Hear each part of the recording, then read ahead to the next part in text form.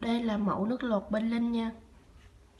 Thì một set này lột được cho tay và chân luôn, giá là 150.000 đồng một set.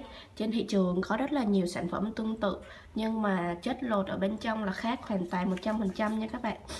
Chỉ ờ, đây, gói màu hồng là gói nước lột đó còn gói gói màu trắng là gói kem dưỡng. Sau khi mình mình lột xong á, mình không có kem để xài á, mình chưa có mua được kem á, thì mình xài gói này tạm vậy nha.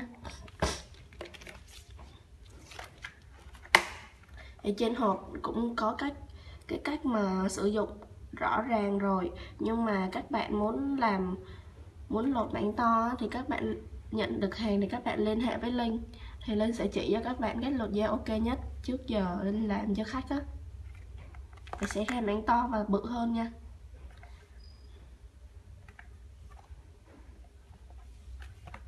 Được tặng kèm thêm một bao tay ở bên trong nữa. Thì à, nếu mà các bạn mua nhầm mà hàng hàng mà pha nói chung là cái hộp này thì cái hộp riêng thôi. Còn nước lột này là bỏ vô, nước lột này là nước lột độc quyền, bỏ vô rất là dễ dàng. Nên cái hộp thì nhiều nơi nó rất là giống nhau nha. Nước lột tại bên linh là khác thị trường hoàn toàn luôn đó các bạn.